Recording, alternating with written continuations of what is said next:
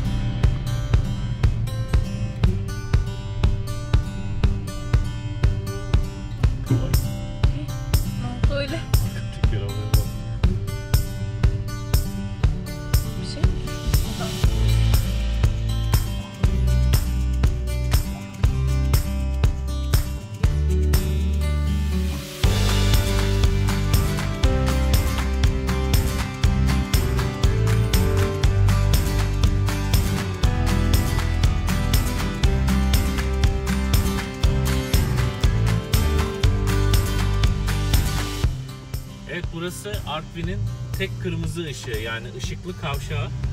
Artvin şehir merkezinde herhangi bir ışık olmaz. Çünkü yukarı çıkarsın ya da aşağı inersin. Başka bir alternatifin yok. Tek bir yolu var. Yamaca kurulu bir şehir olduğu için de şimdi gideceğiz. Hiç ışık görmeden Okat'a girip benzinimizi alıp tekrar buraya geri döneceğiz.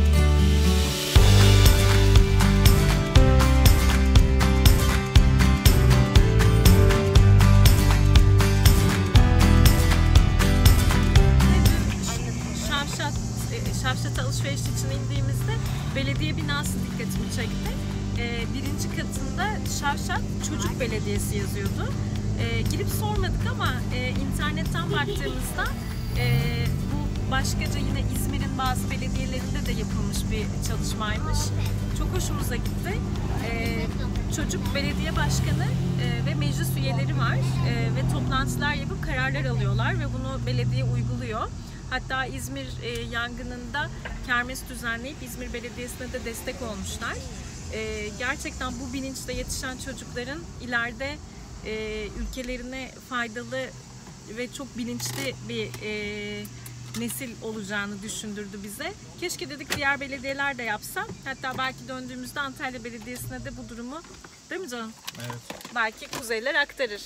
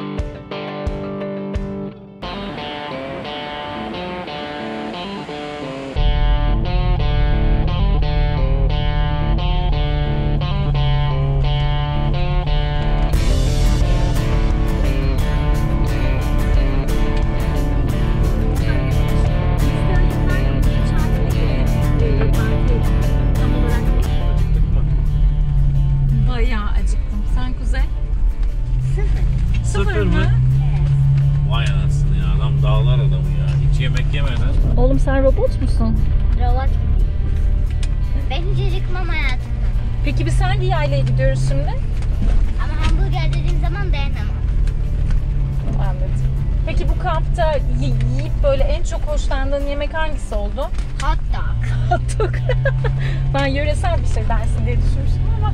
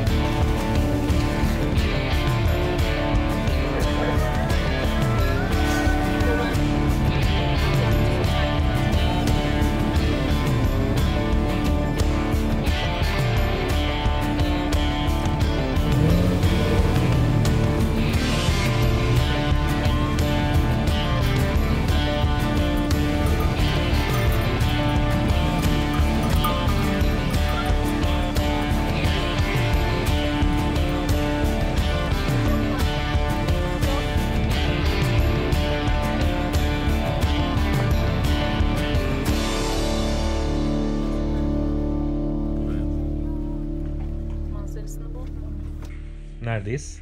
Gito konağındayız. Gito Yaylası'nda e, 1900 metre rakımla Gito konağındayız.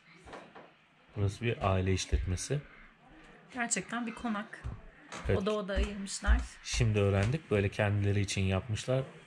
Hatta ilk yaptıkları yerin betonu yıkılınca daha büyüğünü yapalım demişler. Burası çıkmış. Sonra da burayı işletmeye karar vermiş bu aile. Çok da güzel işletiyorlar. Evet. Anneanne yemekleri pişiriyor. Tamamen yöresel. Lahana sarması, turşu kavurması, lahana turşusu, e, mıhlama, Pilav, fasulye, kuru fasulye şey herhalde o aynen sarma vardı. sarma, e, ev yapımı yoğurt, e, Ve Laz böreği Laz vardı böreği. menümüzde. Müthiş. sürekli çay servisi var. Sopanın üstünde çay sürekli demleniyor. Şimdi Ee, geldiğimizde sis vardı ama sabah e, sis açılacak. Müthiş bir manzaraya uyanacağız. Öyle umut ediyoruz. Öyle devam ediyor gezimiz. Bugün biraz dinlenerek geçiriyoruz günümüzü. Bugün kaçıncı günümüz ya? 11 mi? Kim bilir kaçıncı günümüz bilmiyorum ki saymayı bıraktım bir yerden sonra dönmek istemiyorum ben.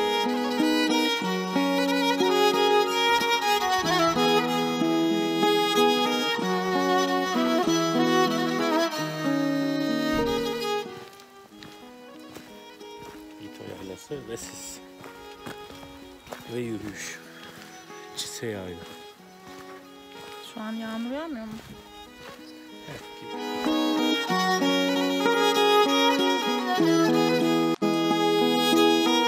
Gito Yaylası'nda kalacak birçok konak var.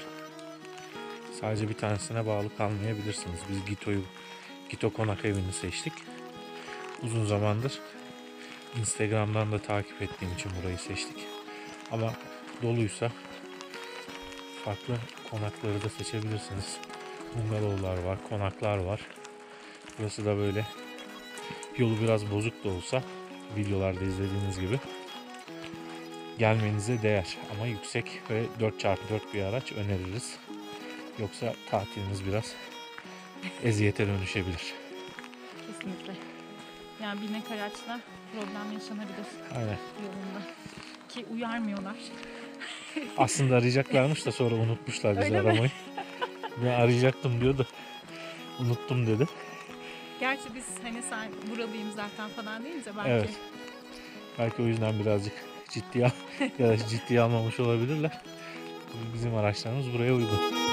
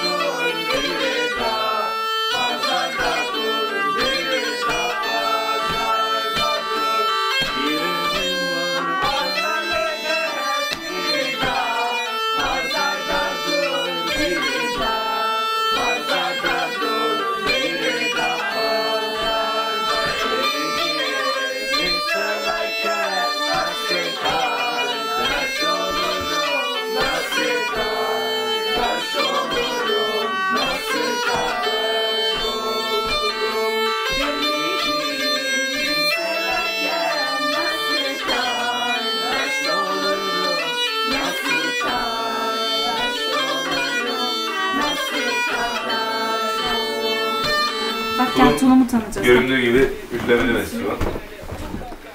Şöyle bu kısmın ismi nar. Şimşir ağacından yapılıyor. Şimdi kesilmesi yasak olduğu için şimşirden yapılamıyor tabii ki. Ama bu eski bir nar olduğu için bu şimşirdir.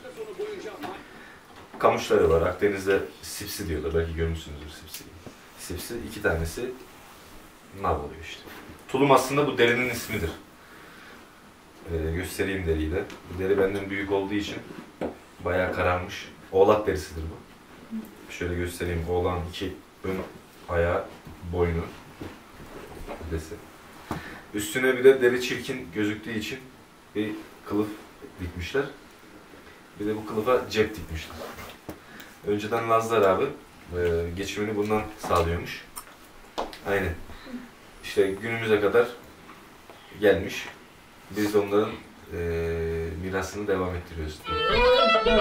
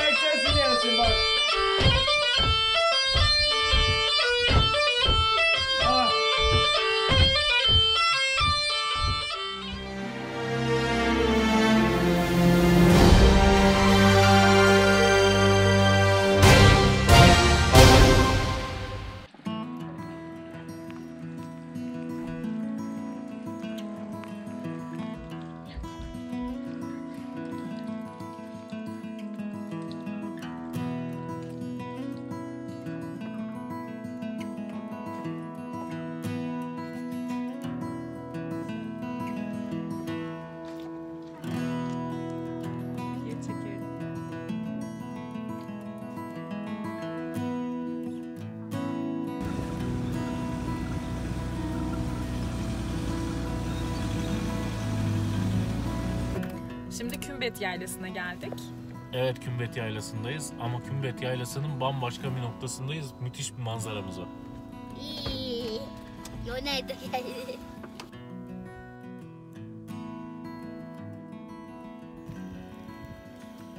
Anlattım nereye gitti? Ya o zaman ne? Evet, Selda Usta ne pişiriyorsun? Valla ben salata yapıyorum. Asıl usta Kuzey. Kuzey Usta ne pişiriyorsun? Ee, şu an tereyağı şey yapıyorum. Sonra ne koyacaksın üstüne? Evet. Köfte. Köfte.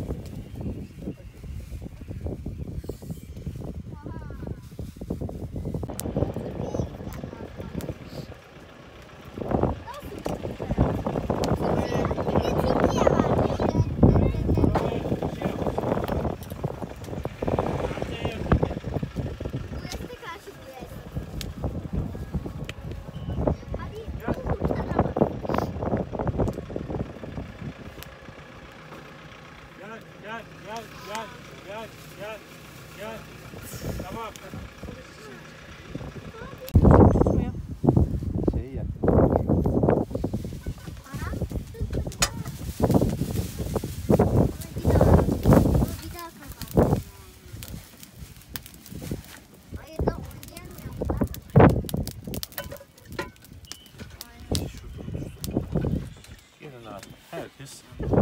Şu an tamam.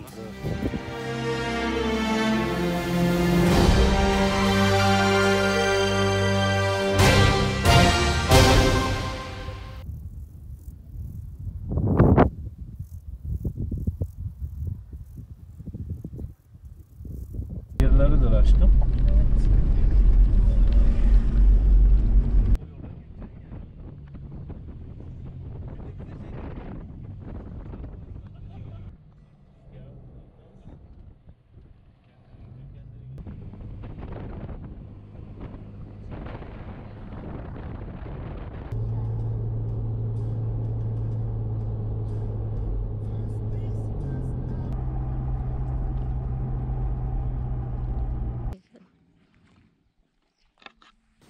Milli Park'ın içinde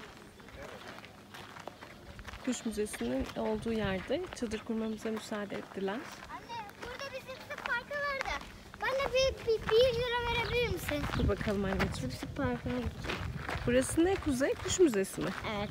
Sultan Sazlığı'nda uyandık saat 6.30'da. Saat 7'de gö Sazlık'ta gölde Sultan. Sultan Sazlığı'nda yürüyüşümüz var. Ondan sonra da yürüyüş yolunun sonunda kayık turu yaptırıyorlar. Toplam yürüyeceğiniz mesafe 1300 metre. Genellikle yazın geliyorsanız sabah hafif serin de olsa kayık sırasında hava ısınacaktır. Güneş gözlüğü, şapka kullanmanızı öneririz. Bizde hiçbirimizde yok.